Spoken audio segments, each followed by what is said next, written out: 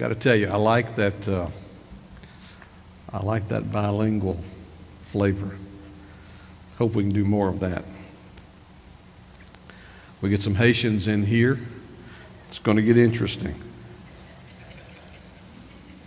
I don't know if you know this or not. He, he led uh, worship in uh, and, and Dezam, Haiti, in Creole. So he can't speak it, but he can sing it, essentially. But he's working on changing the whole speaking part of it there. Well, turn in your Bibles, please, to 1 Corinthians chapter 5. We are we're moving through uh, this letter that Paul wrote to the church at Corinth. We've, we've, we've titled this series uh, The Perfect Gospel for an Imperfect Church. And that certainly fits Corinth, but guess what? It fits us too. It fits every church of the Lord Jesus Christ that is, that is on earth. The church militant uh, moves forward on earth declaring the gospel, uh, but we still battle with remaining sin in our own lives and in the congregational life. The day is coming when we'll be part of the church triumphant. The church triumphant in glory uh, doesn't have these concerns. But we do now while we're still on this earth. And we, we discussed some time ago with our pastoral ministries team as we knew we had an issue, a, a discipline issue that was facing us that we needed to address if you remember here and you've read our Constitution and bylaws, you know that part of our Constitution and bylaws speaks to the matter of redemptive corrective church discipline. We practice that. We practice that because the Scripture teaches it. We don't practice it because we think we're better than anybody else. In fact, uh, some of the language you're going to see from the Scriptures today says we don't, we're nothing. We don't think we're anything. But we are sinners saved by grace, called to live under the Lordship of Christ according to the authority of His Word. And so in our Constitution and bylaws and implied in our covenant when it says we will exercise a, a watchfulness over one another, we practice redemptive corrective church discipline. We knew we had this issue coming up, and so I said to the pastoral ministries team at the time, when I get to 1 Corinthians 5, then we will address the matter. It will just be a part of the flow of our congregational life. And so we mentioned to you last week at the end of the service, we called an individual's name.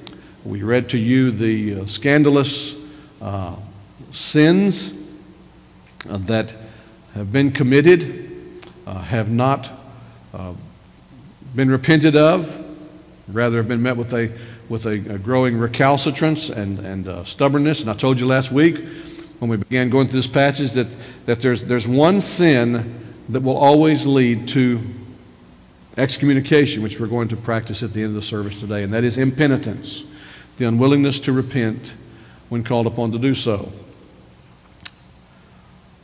So, in your Bibles, 1 Corinthians chapter 5, verses 1 to 13. I hope you found this in your Bible. If you don't have a Bible, we're going to put the text on the screen for you. But I want to ask you to stand with me, follow along as I read this passage.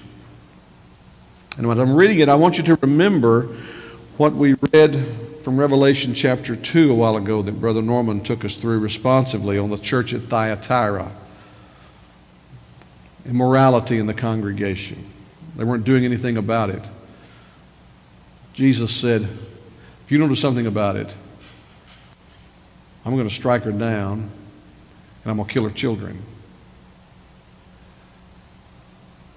When people tell you that they don't believe in church discipline, what they believe in is letting the Lord handle it and his handling of it is always brutal. If you don't believe that, ask Ananias and Sapphira in the book of Acts.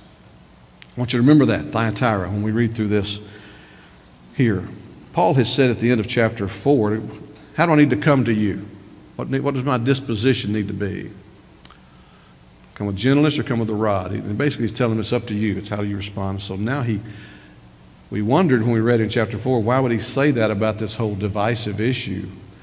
But he says that really in preparation for what he's about to say in chapter 5. It is actually reported that there is sexual immorality among you, and of a kind that is not tolerated even among pagans, for a man has his father's wife. And you are arrogant. Ought you not rather to mourn? Let him who's done this be removed from among you. For though absent in body, I am present in spirit And as if present, I have already pronounced judgment on the one who did such a thing. When you are assembled in the name of the Lord Jesus, and my spirit is present, with the power of our Lord Jesus, you are to deliver this man to Satan for the destruction of the flesh, so that his spirit may be saved in the day of the Lord. Your boasting is not good. Do you not know that a little leaven leavens the whole lump? Cleanse out the old leaven, that you may be a new lump as you really are unleavened. For Christ, our Passover lamb, has been sacrificed. Let us therefore celebrate the festival not with the old leaven, the leaven of malice and evil, but with the unleavened bread of sincerity and truth. I wrote to you in my letter not to associate with sexually immoral people. Not at all meaning the sexually immoral of this world, or the greedy and swindlers, or idolaters since then, you would need to go out of the world. But now I'm writing to you not to associate with anyone who bears the name of brother if he is guilty of sexual immorality or greed or is an idolater, reviler, a drunkard, or swindler, not even to eat with such a one. For what have I to do with judging outsiders? Is it not those inside the church whom you are to judge? God judges those outside. Purge the evil person from among you. Sobering words, to be sure. The words we must embrace because what have we just read? We've just read the inerrant, infallible, all sufficient Word of God. Times like these test our willingness to embrace the sufficiency of Scripture. Thank you. Please be seated. I told you last week, just a real, real quick recap before we move further into the text today, that, that when you talk about church discipline, redemptive, corrective church discipline, you talk about discipline in general, the, the very word disciple comes from that whole word grouping for, for discipline. And you're talking about formative discipline and corrective discipline. Formative discipline meaning the instruction. You do it all the time. Parents teach their children at home. They teach, they teach. We teach in Sunday school. We teach from this pulpit. You teach, the scripture says in Deuteronomy 6, you teach as you walk in the way. When you rise up, when you, when you, when you go to bed, teaching, formative, instructing. But for that to be effective, there's got to be corrective discipline. There's got to be the other side of that, where, where you bring accountability to what you're learning. And that's what we see here. If you're going to be a disciple of the Lord Jesus Christ, you've got to embrace the teaching ministry of His Holy Spirit who will lead you into all truth. But you've also got to embrace the, the corrective work of the Lord. Whom the Lord loves, He chastens, the Scripture says. We told you last week that 2 Timothy 3 16 and 17, which teaches us that all Scripture is breathed out by God and is profitable. It's profitable, it's beneficial. For teaching, there's your, there's your formative discipline. For reproof, there's your corrective discipline. For correction, clearly corrective discipline. And for training in righteousness, formative discipline. If you want to set the matrix up here, to, to do away with corrective discipline, the two center terms, you've got to get through formative discipline on either side, the way Paul laid it out by the leadership of the Spirit. The purpose of this is that the man of God may be complete, that is mature, come, come to his ultimate design, equipped for every good work. So, we told you last week discipline has been recognized historically. We're, we're in the 500th anniversary of the Protestant Reformation of the church. I told you last week, Lord willing, in October, we will take a look in those five Sundays in October at the five solas of the Reformation. But a part of the recovery of the gospel that came out of the Reformation was this recognition that Jesus has left the church with the ordinance of uh, believers' baptism by immersion and the Lord's Supper. But they also said one of the marks he left the church with to be identified as a true church historically is biblical church discipline. John Dagg, I mentioned last week, who was the first writing theologian among Southern Baptists, he, he wrote the first manual of theology, of systematic theology. In his manual on church order, said it's been remarked that when discipline leaves a church, Christ goes with it. When a church ceases to embrace and practice redemptive, corrective church discipline, they have no reason to believe that the Spirit of Christ he'll be on the outside of the door like he was at Laodicea. So we mentioned those things to you last week. We cited some confessional background. I want to jump into the text today and just remind you that we, we outline this text this way. First of all, there is the absolutely scandalous situation in, church, in the church at Corinth. Secondly, there's the atrocious attitude of the church there. Third, the apostolic charge to carry out church discipline. Fourth, the awful leavening influence of unchallenged sin. Fifth, the application of Christ's death to congregational integrity.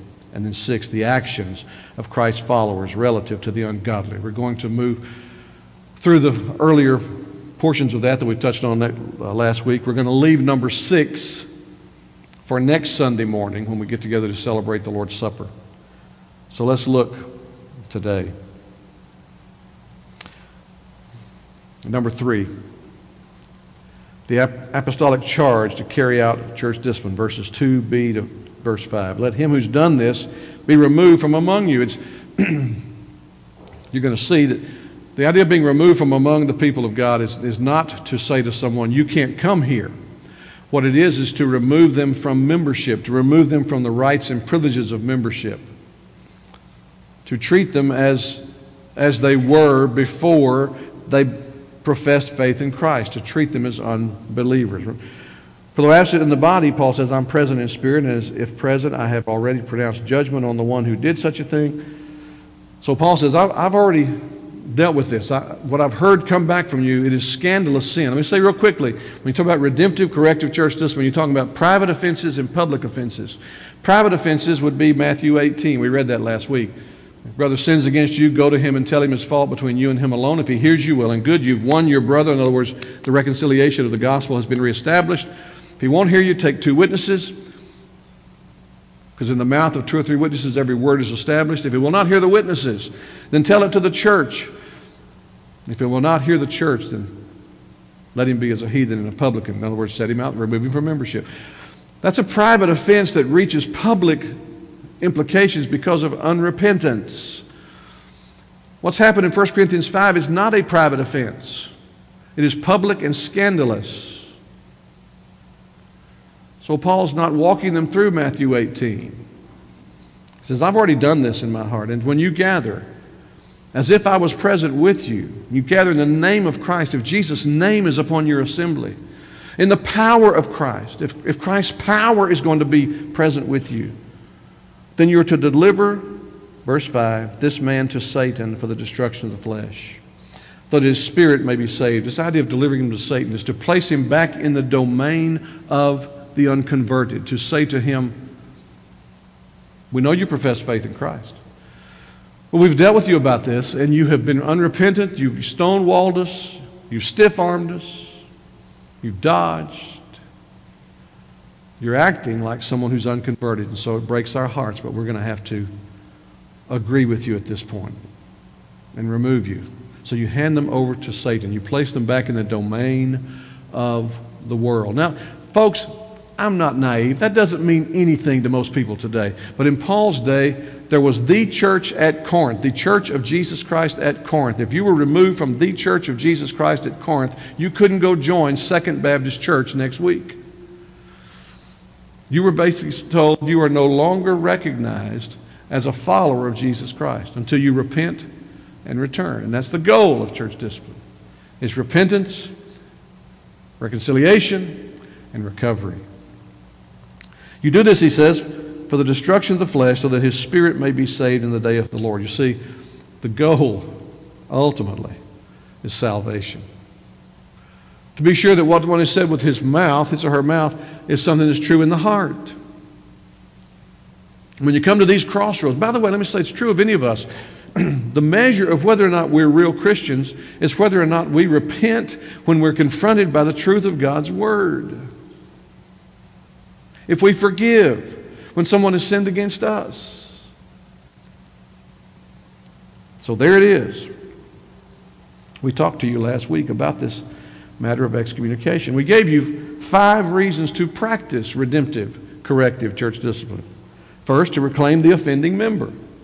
Second, to deter others from being emboldened to commit scandalous sin. The biblical principle there, if you remember back in the Old Testament, we're going to do this, we're going to carry out this judgment on this person that others may hear and fear. That a healthy fear of the Lord comes over a congregation so the people don't play fast and loose with the Word of God and the implications of the gospel. Third, to maintain the integrity of the membership. We, we have what we call here meaningful membership. We have taken some time in years past to go through and make sure that, that the name of every person who is on our membership roll is a person who, who shows some level of commitment to this ministry. As a result of that, years ago, we removed hundreds of names. I want to say that carefully hundreds of names because they were not people longing to be present with us. If to say you belong to something means you have a longing to be. To maintain the integrity of the membership, that membership means something. I told you back we were going through that years ago. A, a, a fellow I knew who was a pastor was talking to someone. He said, I, I just don't know if we ought to do that with our rolls. In fact, if we did that, uh, our church membership would shrink considerably. And then he said, and I've always wanted to be a pastor of a mega church. It's sheer lunacy to think that way. Fourth, to maintain the honor of the name of Jesus Christ upon the congregation and the reputation of the gospel. This is not my church, not your church, it's Jesus' church. And his name is on this church. He's the one who calls us to be holy. Not perfect, but holy. A holy person is a person who's repenting of his sin, trusting in Christ daily. But an unrepentant Christian is a contradiction of terms. Fifth, to prevent the wrath of God from falling upon the church. We read to you Revelation chapter 2. Jesus says, I have this against you, Thyatira. Even though he commended them for some things. You've allowed immorality to go on in the congregation. If you noticed, Jezebel's sick. I've put her in a sick bed. If you don't take action, I'm going to kill her children. He takes us seriously. To prevent the wrath of God from falling upon the church. And so we looked at those reasons. You know, this the fourth point, the awful leavening influence of unchallenged sin. He says in verse 6 and 7, Your boasting is not good. Don't you know that a little leaven leavens the whole lump? One of the children asked me last week, so what's leaven? Leaven was this, uh, I'm out of my depth here for those of you who cook, but uh, it, was, it was like yeast. It, you put it in, into, yeast, of course, causes the bread to rise. Well, so that analogy is taken without yeast, and, and we've, we've fixed some things at our house. I'll never forget, Karen fixed a banana bread one time and forgot to put the whatever in it. And we looked in the nice, nice banana bread pan, you know, and the thing was about that tall. It was just, it was just crusted over scrunched bananas. I mean, it was, wasn't at all like the fluffy banana bread that we, that we enjoy when she makes it. And so this image of yeast, of leaven, is used in the scripture sometimes in a good way, sometimes in a bad way, but in a bad way here. He says, Don't you know that a little leaven, a little, a little immorality in the church at Corinth can ruin the whole church?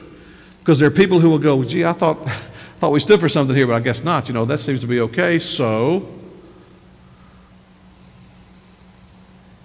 he says, cleanse out that old leaven, that you may be a new lump, as you really are unleavened. A real church of the Lord Jesus Christ is unleavened. What do you mean by that? Listen to how Jesus uses it in Matthew 16 verse 4 and 6. An evil and adulterous generation seeks a sign, but no sign will be given to it except the sign of Jonah. And then he said to them in verse 6 Watch and beware of the leaven of the Pharisees and Sadducees. The teaching of the Pharisees and the Sadducees, we've talked about them before, the, the fundamentalists and the, the liberals. So their, their leaven, their teaching ruins.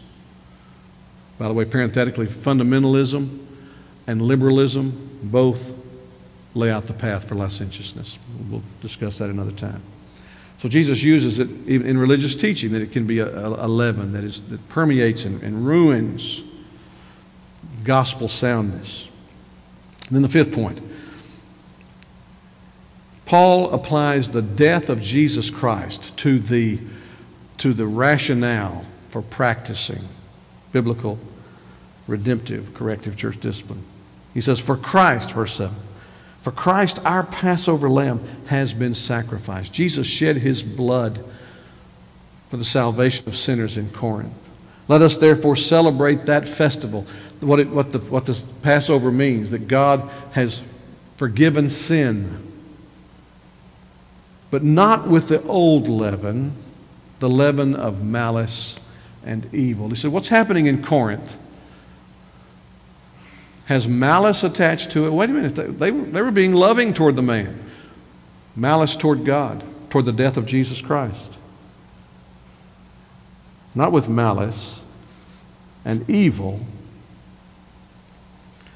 but with the unleavened bread of sincerity and truth. So he substitutes it. What I want to see at Corinth is sincerity. This word sincerity, we've told you about it before. It's, it's a word that literally means sun tested. If you bought a piece of pottery in the marketplace in Paul's day, you would take it and hold it up to the sun. Because you see, the artisans were very clever. They could take a piece of, of pottery and make it, and if it got a crack in it, they could, they could run over it and smooth over it to try to hide the crack, a defect in it. But if you held it up to the sun, you could see where they had patched it up. It literally means sun tested, sincerity. He says, I want the church at, at Corinth to be held up to the sun. Discover the defects and correct them. Don't gloss over. Don't pretend something is what it's not. Sincerity and according to truth. So, real quickly, I want to just touch on what are the modes, what are the, what are the forms of redemptive, corrective church discipline. There are three primary ones. If you read, if you read Daniel Wray's booklet that we made available to you last week, then you know them. But in case you didn't, I want to give them to you today. There's admonition, rebuke, excommunication. Admonition can take private or public form. That's Matthew 18. You admonish him privately, but if it doesn't work, it doesn't bring reconciliation, then it goes to the public forum ultimately. Look at some passages with me real quickly. Romans 15, 14. I myself am satisfied about you, my brothers, that you yourselves are full of goodness, filled with all knowledge, and able to instruct. And the word instruct there is the word admonish. Able to admonish one another. He said, You don't need an expert to come in from outside. You're equipped with the by the Holy Spirit with the Word of God to do this with one another. You're competent. Jay Adams' book, Competent to Counsel, is based upon this passage. Colossians 3:16, let the word of Christ dwell in you richly. We were talking about this in prayer meeting recently, teaching and admonishing one another in all wisdom. There's just that, that day-to-day disciplinary practice of admonishing one another. And the means of singing psalms and hymns and spiritual songs. I hope sometime when we're singing here that the lyrics of the songs we pick, whether they're out of the hymnal or whether they're on a more contemporary scale, uh, admonish you, I, I prick your heart with thankfulness in your hearts to God. 1 Thessalonians 5:14. We urge you, brothers, admonish the idle. Thessalonica had a problem. People so preoccupied with the coming of Jesus Christ that they quit work. Admonish the idle.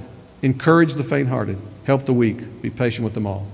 2 Thessalonians 3 14 and 15. If anyone does not obey what we say in this letter, take note of that person. In other words, mark that person and have nothing to do with him, that he may be ashamed. Sound like a form of discipline to you? Someone pops off and calls into question the apostolic teaching of Paul. You say, Well, don't do that, brother. Don't do that, sister. You take this, this is serious business. Ah, it's just Paul.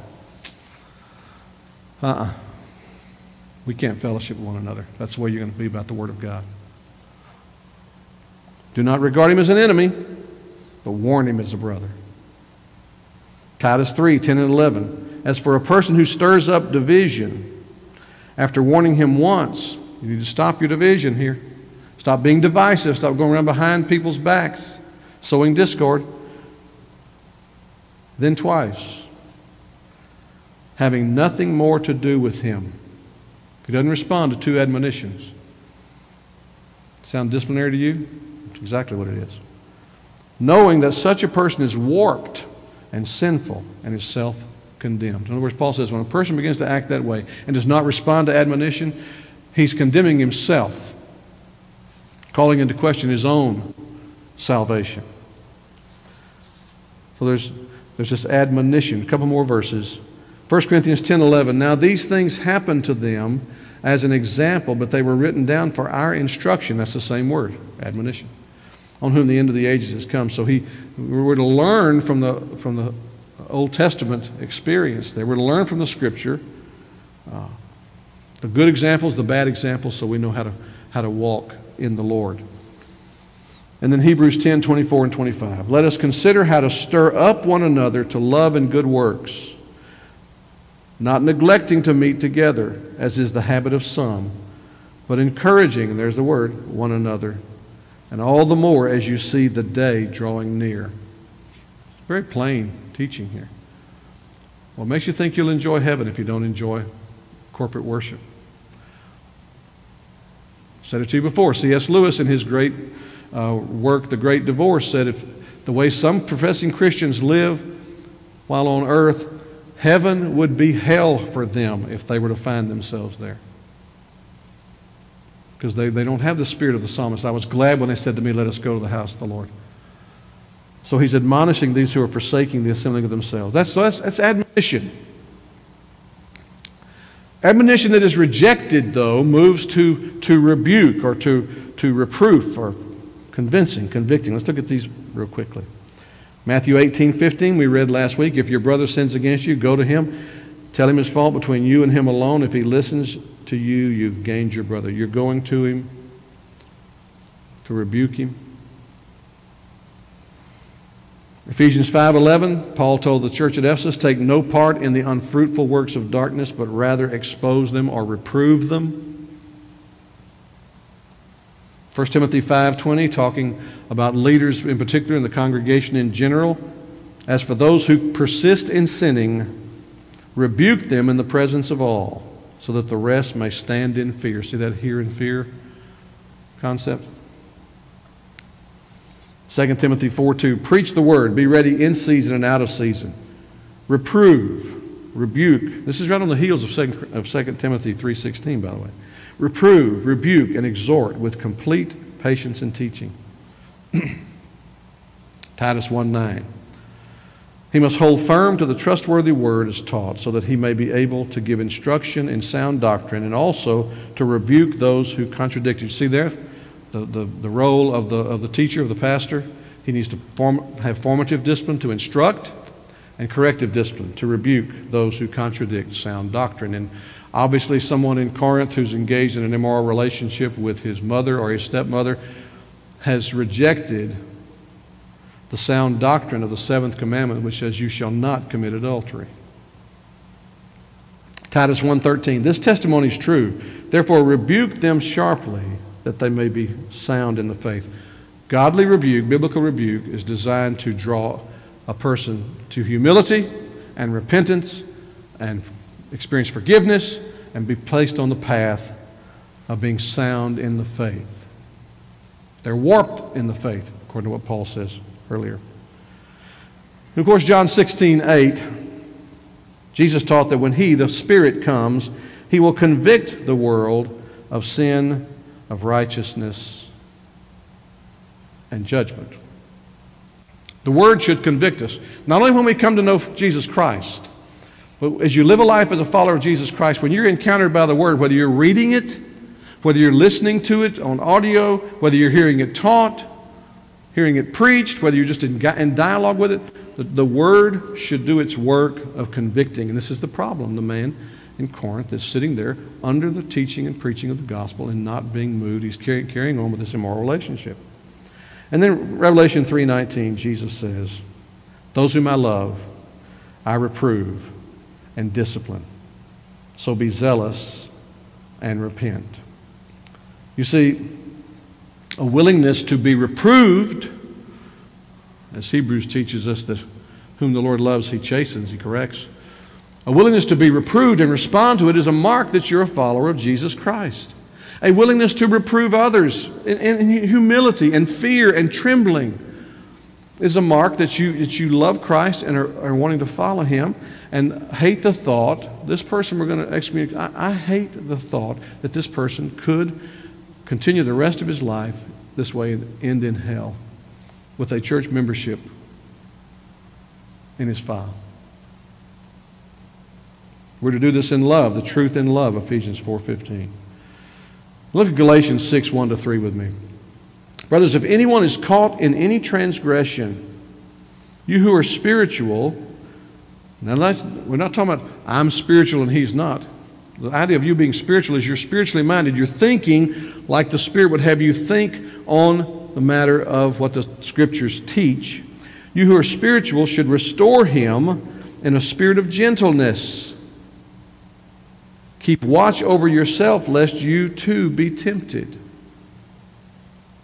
Bear one another's burdens, and so fulfill the law of Christ. And here it is For if anyone thinks he is something, when he is nothing, he deceives himself. People might say, Well, what, who do you think you are? Practicing discipline toward a member. Who are you? Well, here's the I'm nobody. I'm nobody.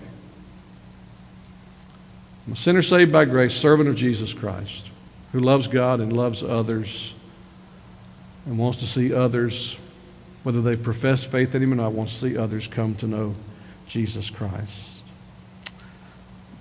Paul said to Timothy, the servant of the Lord must not strive, he must be gentle, long suffering, instructing those who oppose. And the text is interesting when you, whether they oppose themselves or oppose those who are dealing with them. If peradventure God may grant them repentance, leading them to a knowledge of the truth, who've been taken captive by the devil to do his will. We do this in humility. People have thrown in my face, well, what about Matthew 7? Judge not, lest you be judged. Well, the judgment you judge, you shall be judged. Doesn't the scripture say, judge not? Well, that Matthew 7, verse 1 says that. If you can read with discernment, the entire remainder of Matthew 7 is about making a right judgment. Two ways, broad and narrow. You've got to have a judgment. Which one's narrow, which one's broad? Sheep, wolves, judgment. Don't give what is sacred to dogs. What is sacred? What is a dog? Don't cast pearls before swine. What are pearls? What is swine? It's two gates, narrow and wide. Which one's narrow? Which one's wide? Two houses, one on the sand, one on the rock. The whole seventh chapter of Matthew is about making discerning judgments of what is right and what is wrong. So, what it's teaching is judge not. Don't, don't judge by worldly standards. If you use a worldly standard to judge, then that standard will be turned on you. And what we're doing here is using the Scripture and it's replete in our Constitution and bylaws in terms of how this is to go about. 2 Thessalonians 3.15, do not regard him as an enemy. We've already said this, but warn him as a brother. This, you approach the person not as, well, I'm, I'm mad that this person's done this. Continues to do it. I'm, wipe my hands of this, out of sight, out of mind. That's not the mentality. This happens to be a ex-son-in-law of mine. I'm grieved, greatly grieved. I did not want to see my daughter married only to see this tragedy occur. Then there's excommunication, the most extreme form. We've seen it described in Matthew 18. If he will not hear the church, let him be to you as a Gentile and a tax collector. We told you we've written letters to this individual, pleading with this person to repent, to seek us out, to make contact, specifically with Norman Hare, chairman of our deacons. Letters returned. again returned. If he refuses to hear the church, let him be to you as a Gentile and a tax collector. Then, of course, the passage we're reading right now, 1 Corinthians 5.11. He talks about, and we're going to look at this in detail next Sunday, I'm writing you to not associate with anyone who bears the name of brother or sister. He's guilty of sexual immorality or greed. Now, the idea here is not that this, is, this has been committed one time, but the idea is that a person guilty of this is unrepentant about it, has been called to his or her attention, and they continue in it. Or an idolater, or a reviler, or a drunkard, or a swindler, not even to eat with such a one. The idea there, if you don't, you don't have fellowship, it could be talking about the Lord's Supper, that you, that you fence off the table and you suspend their Lord's Supper privileges. Purge the evil person from among you. That's the apostles' last word. I said earlier, it doesn't mean that a person for whom this is carried out is not allowed to attend. In fact, we, we had a situation years ago where this happened in another church where I was pastoring. And the letter we sent up in follow up, and we will send a follow up letter on this, on this matter, is we urge you to put yourself under the preaching of the gospel. It's the remedy God has, has given for you to repent, begin reconciliation, and be recovered. Paul expected the unrepentant. He expected unbelievers to be in the church in 1 Corinthians 14. We're going to read that when we study later, where if an unbeliever comes among you, he expected there to be unbelievers. So it's not a, a banning from attendance. It's an agreeing finally that your worldly actions, which have gone unchecked, unrepented of, place you in the world and not among the redeemed. Now, here's the good news. Here's the, what you hope for. And I've seen it happen a time or two. Not many times in the years that we've practiced corrective discipline, but a couple of times, yes.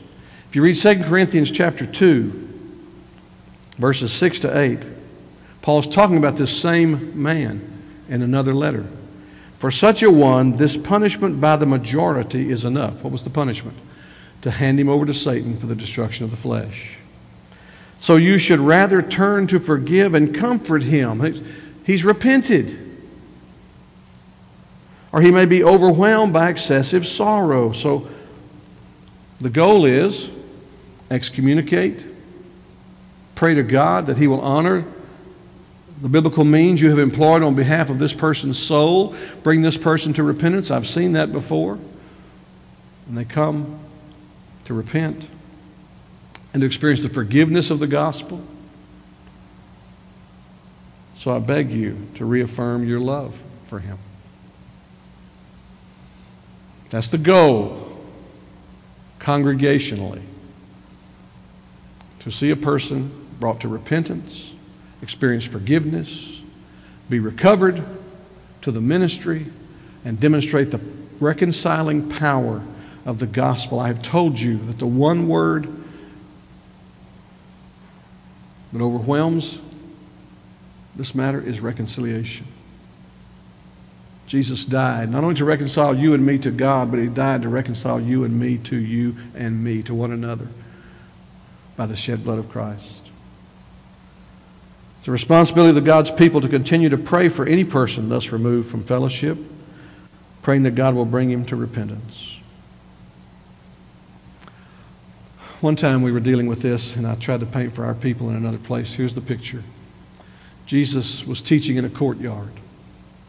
Some friends of a man who was paralytic came and tried to get, and they couldn't get to him. So they tore off shingles of roof and they dropped the paralytic right in front of Jesus, right at the feet of Jesus, disrupting the whole Bible study. And the scripture said, when Jesus saw the faith of the man's friends, he said to the man, Rise. Your sins are forgiven. Rise, take up your bed and walk. And that has struck me through the years. This person we're talking about is, is not in, in a position to even be close to us now.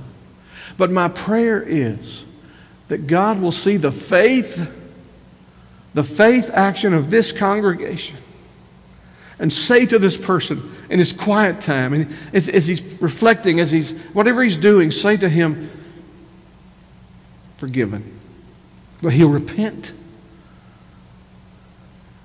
come to Christ, and whether here or someone else, flourish in the gospel as a follower of Christ.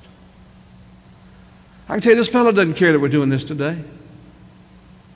So the question, what, what difference does it make? It makes all the difference to God.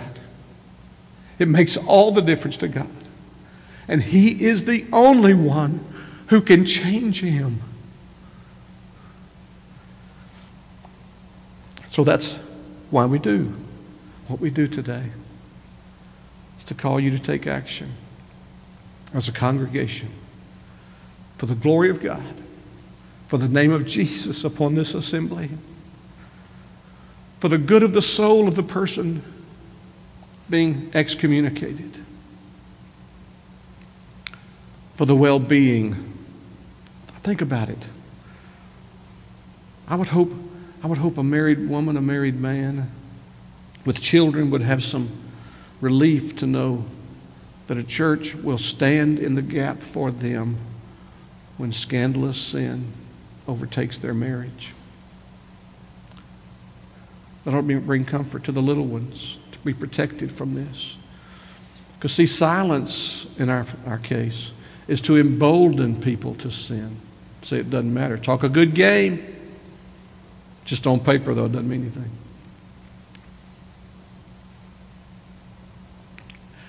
And to be sure that when God sees that we're meaning business with Him, that He won't bring His wrath upon us like He promised to do at Thyatira.